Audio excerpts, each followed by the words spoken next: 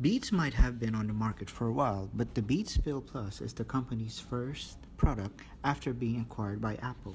The Beats Pill Plus shares minimal hardware upgrades from the original Beats Pill. But is it enough to warrant its $200 price? Let's find out. Reminiscent of the earlier Beats Pill speakers, the Beats Pill Plus resembles the same pill-shaped design. It comes with a rubberized exterior for easy gripping and at the same time offer a more splash-proof design. This isn't waterproof just to be clear, but you can still safely use it outside on a rainy day. Like Apple, controls are minimal, with the volume controls located on the top along with the power button that comes with the same LED lights that indicate the battery charge level.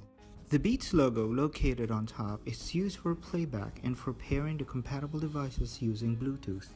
The good thing is that you can also connect secondary Bluetooth devices on the Beats Pill Plus without having to disconnect the first one.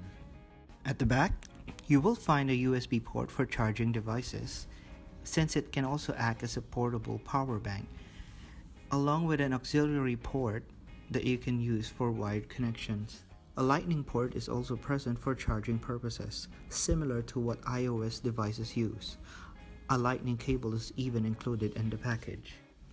These ports are covered by a rubber flap and cleverly hidden from within the speaker design.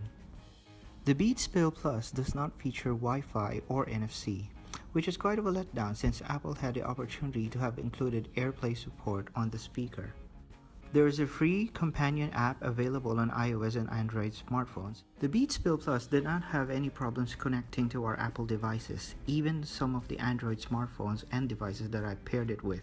The Beats Pill Plus delivers a fuller and wider sound experience, evident by the fact that it managed to fill an entire room of sound despite its size.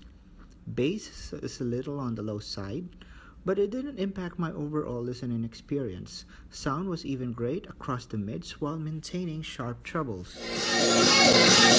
There's no going back.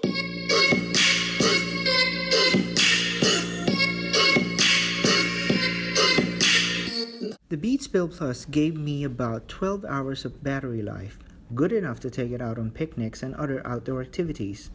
Aside from the LED lights indicating the battery status, you can also check the battery level on the notification of your iOS device.